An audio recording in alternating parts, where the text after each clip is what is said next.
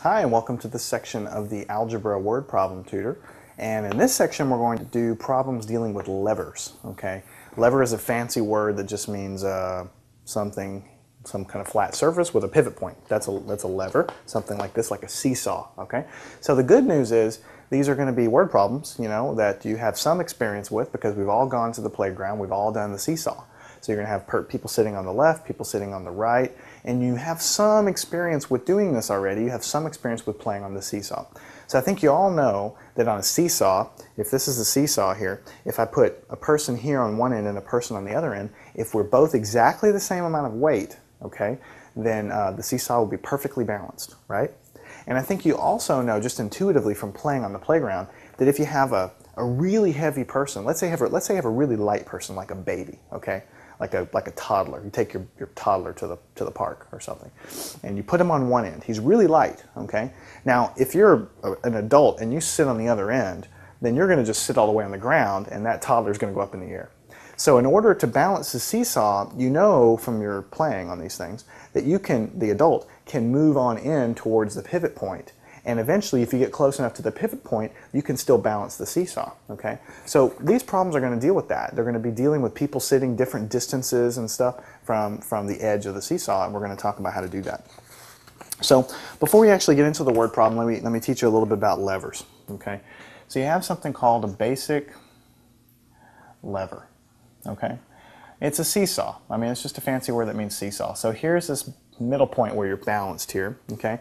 This thing has a special name. It's called a fulcrum, okay? Don't uh, worry too much about the name. The only reason I'm even telling you the name is because the word problems probably are going to use the word fulcrum. It just means pivot point. It's a fancy word that means pivot point. It's nothing special, okay? And uh, you have a, a, person over here. I'm just going to put it as a, him as a box, but it could be a person, okay? A big box, let's say. And he has some weight, okay? uh, I'm going to call him uh, weight 2 because he's box number 2, let's say.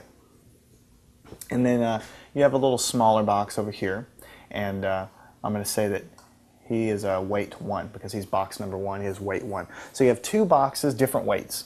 Okay. Now, also, there could be different positions on this thing, just like you can play different positions on the seesaw.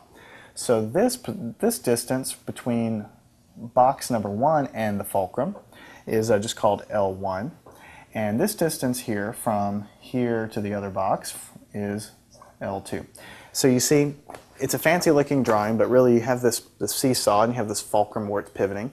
You have person number one or box one, a distance L1 from the fulcrum, and you have another box with a different weight, weight two, that's a different distance, okay? Now, here's where the really, the magic comes in. Really, it's physics that comes in here. This seesaw is balanced okay, when the following is true. The distance, 1 times the weight, 1, is equal to the distance, 2 times the weight, 2. Okay, this seesaw is balanced in that condition. Okay, so what this is saying is that when the product or the multiplication of the distance times the weight on the left is equal to the distance and times the weight on the right, if these two products are equal to each other, then the seesaw is balanced, okay? Now you can kind of you can kind of get a sense of that because what I was telling you before is that when you go to the park, if you have a toddler on one end and an adult on the other, we obviously have different weights, right? The weight of the toddler is going to be totally